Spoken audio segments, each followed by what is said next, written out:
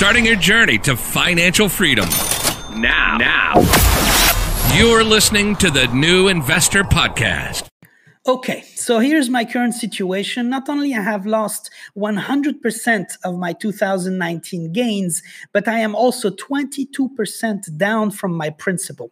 Some would see this as a terrible situation, blame the whole world and sell off, never to consider investing their hard-earned money ever again.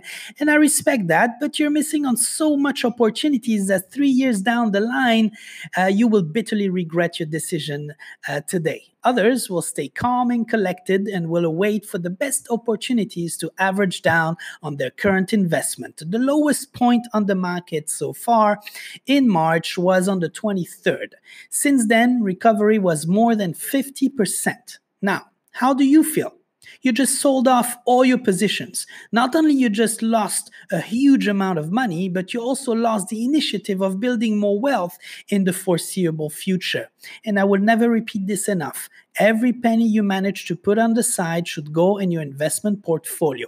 If you have to eat pasta every single day until the crisis pass, so be it. I would like for everyone to start taking some altitude and uh, look at the bigger picture. Now, we cannot let COVID 19 threaten everything we have ever worked for uh, by staying idle we have the power to turn this nightmare into something that could very well change our entire life for the better in the future. And I am in the exact same situation than you. To support my employer, I have accepted a huge uh, salary cut and I'm working from home and I have been revising my entire yearly budget, uh, taking into account the possibility for this crisis to last for three months or more. And here's what I did since. I have averaged down on only one of the companies on my portfolio, and I still believe we have not yet seen the lowest point in the market, as this will be subject to how long the crisis will last. And the longer the world economy isn't shut down, the more chances we have to enter into a depression. I have uh, revised my entire yearly budget as set to ensure I still generate disposable income. And I had to revise my cost structure from first necessities uh, by buying in bulk and keep stocks uh, to ensure I bring my cost structure for groceries to a minimum should this crisis last. And I buy uh, wholesale on uh, first necessities and stock up on perishables uh, whenever I need.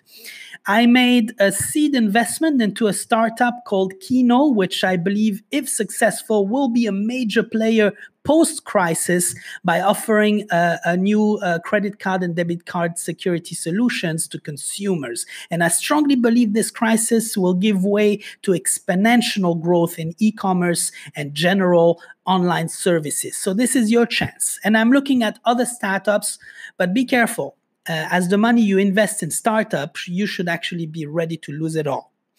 And I published my latest book, Becoming an Investor Towards Financial Freedom. Check it out on Amazon, and I left a link in the podcast description. I am on the process of rebranding my Instagram page and see if it can further grow from a different angle and refresh the perspective. And we must continuously adapt our strategies. It would be a mistake, I believe, to think uh, that we can continuously or continue to operate the same way as before. COVID 19 will have such a disruptive effect on our society that it is up to us to identify opportunities for additional sources of income.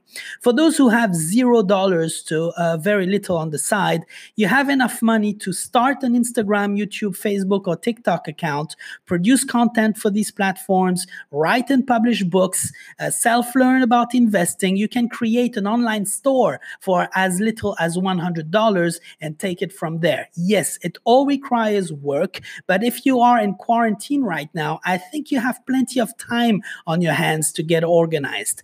In the meantime, Stay healthy and stay invested.